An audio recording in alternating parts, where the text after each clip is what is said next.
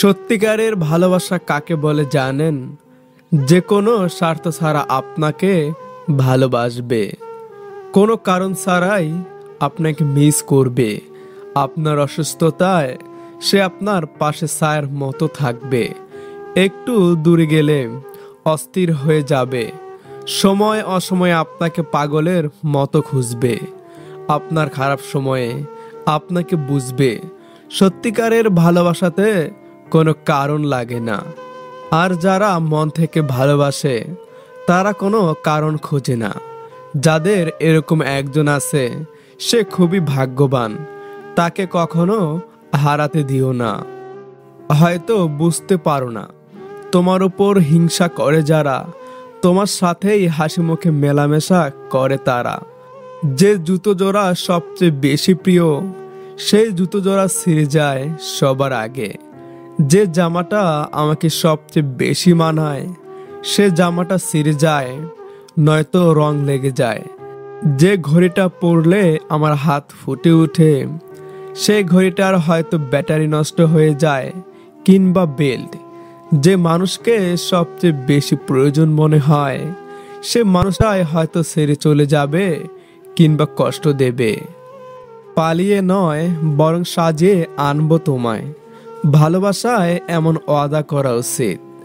কাউকে ভাঙতে হাতুড়ি বা অন্য কোনো জিনিস লাগে না। অবজ্ঞা, অবহেলা আর মুখের অপমানজনক কথাই যথেষ্ট। ঐশ্বর্যের চেয়ে দামি সম্পদ বুদ্ধিমত্তা আর সবচেয়ে বড় দারিদ্রতা হচ্ছে মূর্খতা। অহেতুক ভয় পাওয়া হচ্ছে সবচেয়ে বড় দুর্বলতা আর সবচেয়ে অধিক মূল্যবান বিষয় হৃদয়বান হওয়া। বোকার সাথে বন্ধুত্ব করতে যাবে না। কৃপণের সাথেও কখনো বন্ধুত্ব করবে না। মিথ্যাবাদীর সাথেও বন্ধুত্ব গড়ে তুলবে না। কোনো পরনিন্দাকেও নিজের বন্ধু বানিও না। এগুলো হলো মরিচিকার মতো। যখন থাকবে, জীবনটা অস্বচ্ছ করে রাখবে। আর যখন থাকবে না, জীবনটা রঙিন করে তুলবে। জীবনে ঘুমটাই আসল। টাকা খরচ হয় না, কোনো টেনশন থাকে না, কাউকে ভাবতেও হয় না। মেয়েদের মাত্রা অতিরিক্ত জিদ, পরকিয়া, মুখে মুখে তর্ক করা আর বাবার বাড়ির কুপরামর্শ, ডিভোর্সের অন্যতম কারণ। কাছে টেনে অবহেলা করার চেয়ে সরাসরি বলে দেওয়া ভালো। এই গল্পের এখানে শেষ। চেহারা দেখে যদি মানুষ চেনা যেত, তাহলে ভুল মানুষের প্রেমে পড়ে কাঁদতে হতো না। প্রতিটা মেয়ের সব পাওয়ার মধ্যে সবচাইতে বড় পাওয়া হলো দায়িত্ববান কেয়ারিং একজন হাজব্যান্ড কোনো ভারী জিনিস কয়েক সেকেন্ড পর্যন্ত ধরে রাখতে পারবে। কয়েক মিনিট ধরে রাখলে হাত ব্যথা করতে শুরু করবে। কিন্তু দীর্ঘ সময় ধরে ধরে রাখলে আহত হয়ে যেতে পারো। ঠিক তেমনি কারোর কোনো কথা মনে লম্বা সময় পর্যন্ত ধরে রাখলে সেটাও তোমার মনকে আহত করবে। মাঝে মাঝে মনে হয় জীবনে কিছু কিছু মানুষের সাথে পরিচয় না হলে বোধ হয় ভালোই হতো। বিশ্বাস করতে হলে এমন কাউকে বিশ্বাস করো, যার মধ্যে নীতি আছে, যার মুখের কথা ও হাতের কাজ এক। আমি এমন একটা বোকা যে মানুষকে খুব তাড়াতাড়ি বিশ্বাস করে ফেলি, আর বিনিময়ে আমাকে অনেক কষ্ট পেতে হয়। যে কোনো ব্যক্তি যা চায়, জীবনে সেটাই হতে পারে।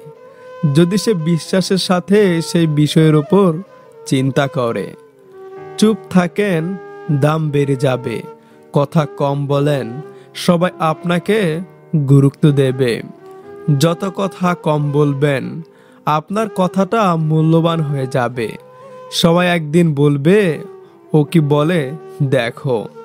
সব সময় যদি বকবক করতে থাকেন, আপনার কথার মূল্যায়ন থাকবে না। একজন রাগ করলে সম্পর্ক গভীর হয়, আর দুজন রাগ করলে সম্পর্ক নষ্ট হয়।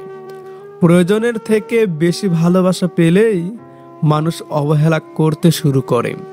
তাই কাউকে অতিরিক্ত ভালোবাসতে নেই। দামি উপহার না দিয়ে সময় আর গুরুত্ব দাও। দেখবে সম্পর্কগুলো এমনিতেই সুন্দরভাবে টিকে যাবে।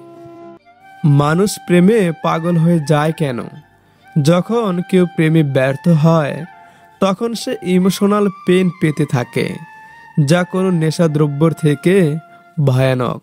সে তার সময়, টাকা তার পেছনে ব্যয় করার কারণে তার থেকে একসেপ্টেশন আশা করে। কিন্তু সে যখন সেটা পায় না, সে পাগল হয়ে যায়। ব্যক্তিত্ব ধরে রাখবেন কীভাবে? শুনুন বেশি, বলুন কম। কৌতুক করে হলেও মিথ্যা বলবেন না। কথা দিয়ে কথা রাখার চেষ্টা করুন। ভুল হলে তর্ক না করে সরি বলুন। অকারণে এবং অপ্রয়োজনে হাসবেন না। ঘন কথা না বলে ধীরে ধীরে কথা বলুন। যা জানেন না, তা নিয়ে কথা বলতে যাবেন না। অজানা বিষয়ে তর্কে জড়াবেন না। কাউকে বোঝাতে যাবেন না যে আপনি শ্রেয়। অন্যকে বলতে দিন, তার কথা আগে শুনুন। শব্দ করে খাবার খাবেন না। রাগ হলে নিজেকে নিয়ন্ত্রণ করুন। কেউ ভুল করলে সহজে ক্ষমা করে দিন। সেরা জামা বা সেরা জুতা পরবেন না। সহজে কারোর কাছে হাত পাতবেন না। কিছু করার আগে সবার পরামর্শ নেন। খাবার সামনে এলে আগে অন্যকে দিন। নারকেল পাতায় বানানো ঘড়িটাই পারফেক্ট ছিল। না ছিল সময় আর না ছিল সময়ের চিন্তা। ভালোবাসা তো সেটাই, যেখানে সময়ের সাথে সাথে একে অপরের প্রতি কখনো গুরুত্ব কমে না। বরং যত সময় যায়, তত দুজনের বোঝাপড়া বাড়ে আর সম্পর্ক মজবুত হয়। কিছু মানুষের জীবনের ডিকশনারিতে শুধু দুটো শব্দই পাওয়া যায়, মেনে নেওয়া আর মানিয়ে নেওয়া। এমন একটা দিন আসুক, আমাকে অবহেলা করা মানুষগুলো আমার সফলতা দেখে আফসোস করুক। অতিরিক্ত রাগী মেয়েদের ভালোবাসাটাও অতিরিক্ত হয়, কারণ তাদের অনুভূতিটা খুব সহজে প্রতি জনে জনে আসে না। কিন্তু যখন কারও প্রতি আসে, তখন খুব কঠিনভাবে আসে। সব ইচ্ছা কি আর পূরণ হয়? মাঝে মাঝে অপূর্ণতা নিয়েও বাঁচতে হয়। ডিভোর্সই এক বোনের কথা। ডিভোর্সের আগে স্বামীর বাড়ি জাহান্নাম মনে করেছি। এখন ডিভোর্সের পর দেখি বাবার বাড়ি বড় জাহান্নাম। ব্রেকআপের পর গার্লফ্রেন্ড যেভাবে বয়ফ্রেন্ডকে ইগনোর করে, সেভাবে নিজের জীবনের প্রবলেমগুলোকে ইগনোর করুন ভাই। অতিরিক্ত ভালোবাসার শেষ পরিণতি বিচ্ছেদ। পাওয়া না পাওয়ার হিসাব করি না। রব যা দিয়েছেন তা নিয়েই আমি খুশি। একটা ছেলের সবচেয়ে বড় ভুল হলো, প্রতিষ্ঠিত না হয়ে কাউকে নিয়ে স্বপ্ন দেখা।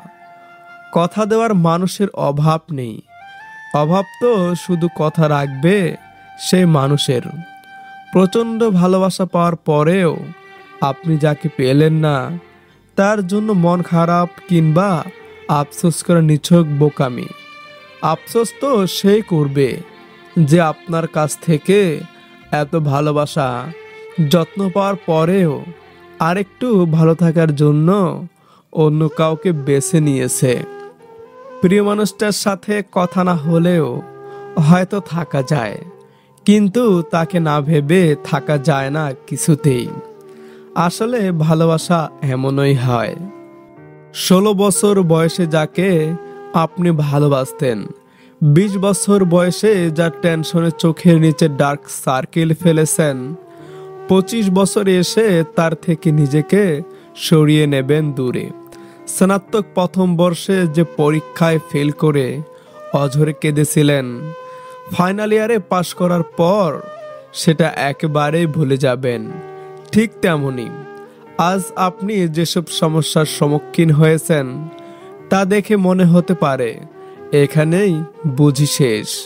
নিশ্চিত থাকুন যে সব কুয়াশা চলে যাবে এবং এই পরিস্থিতি শেষ হবে।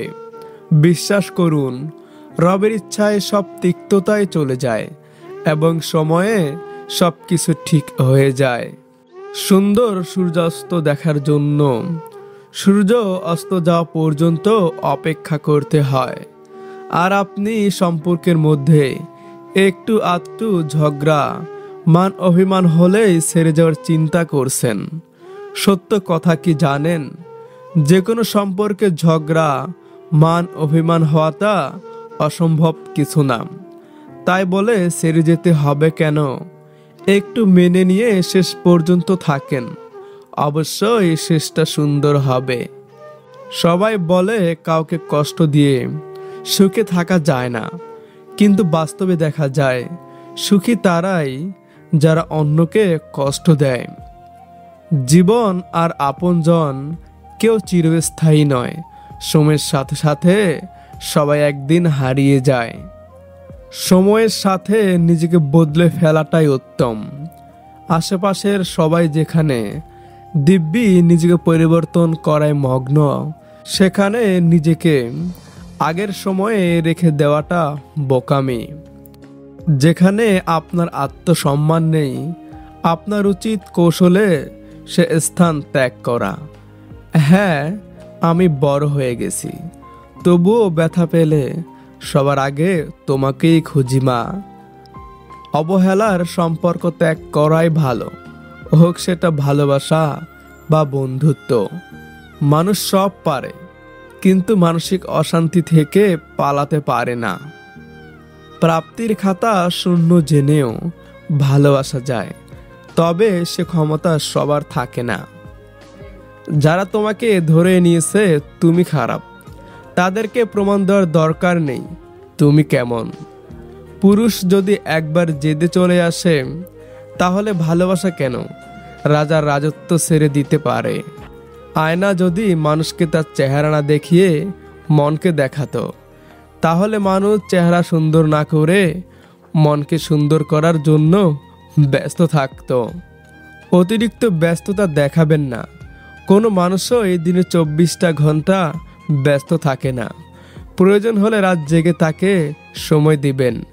ঢং না। এজন্যই আজকাল বিচ্ছেদের মাত্রা অতিরিক্ত। মেয়েরা যদি বাবার টাকার মতো, স্বামীর টাকাকে একই চোখে দেখত, তাহলে সমাজে অধিকাংশ দাম্পত্য কলহের সৃষ্টি হতো না। একজনের দিক থেকে যখন অবহেলার মাত্রা বেড়ে যায়, তখন অন্যজনের ভালোবাসা ক্লান্ত হয়ে পড়ে। মানুষ তখনই দুর্বল হয়, যখন সে নিজের কাছে হেরে যায়। যত বড় হবে, ততই বুঝতে পারবে, পৃথিবীতে প্রয়োজন ছাড়া কেউ আপন হয় না। কেউ দেখে না তুমি তাদের জন্য কি করেছ। তারা নিশ্চিত এটার খবর রাখে, তুমি তাদের জন্য কি করো নাই। যেখানে নিজের সম্মান থাকে না, শত কষ্ট হলেও সেখান থেকে সরে আসাটাই উত্তম। আপনাকে ছেড়ে যাওয়া মানুষগুলো যেন আফসোস করতে পারে। এমন অবস্থান পর্যন্ত এগিয়ে যান। সম্পর্ক শুধু অর্থ ও সৌন্দর্য দেখে নয়, ব্যবহার আর চরিত্র দেখে করতে হয়। সম্মানটা শুধু বয়স দেখে নয়, আচরণ দেখেও করতে হয়। নিজের সাথে কারও তুলনা করো না, তুমি যেমন তেমনই সুন্দর।